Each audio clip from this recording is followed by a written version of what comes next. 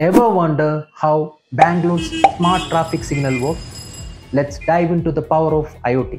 IoT or Internet of Things connect devices to communicate and make intelligent decisions.